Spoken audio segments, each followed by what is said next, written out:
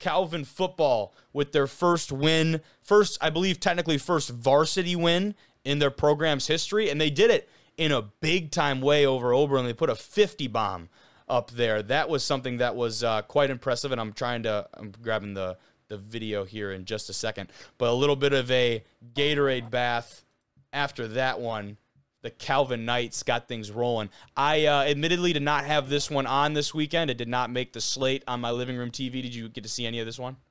I did not either. So shame on us, you know, huh? We got we got to be honest on the Division One Rejects. We can't be lying. I did see the uh, the Wabash hundred hundred plus yard uh, fumble return touchdown, and my my grandpa James Hannah Martin the first well was a Wabash Little Giant, so I always have a little soft spot for him. I like that. I like that. Always um, cheering for the little Giants.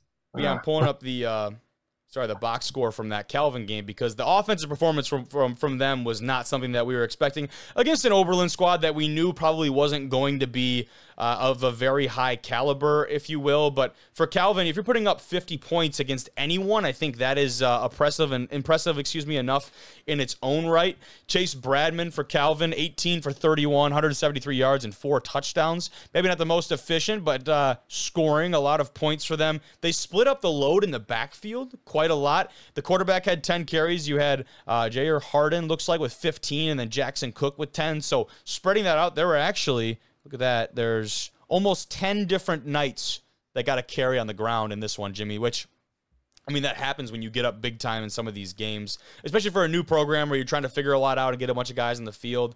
Had uh, a couple guys over 50 yards. Hunter Hogan with two touchdowns on the day for the Knights as well. And then some big time defensive performances. How about Trevor Martins with two TFLs? One of those was a sack.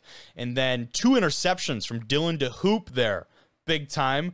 And uh, they had three on the day as a team. Three different guys getting to the quarterback for sacks. So I guess a long way of saying definitely a group effort for this Calvin squad. And I, it's going to be very interesting, I guess, to see where the ceiling is for this group as they move on throughout the year. They go this next week. They're on the road actually for the next three weeks at Concordia, Wisconsin, then at Anderson University in Indiana, and then at Kalamazoo. That's when they start their uh, conference play in the MIAA. So we will see what the ceiling is for this Calvin squad. Certainly the bar isn't incredibly high because guess what? There is no bar. Uh, but. You know what I mean? Yeah. But uh, definitely going to be exciting to see what their ceiling is, Jim.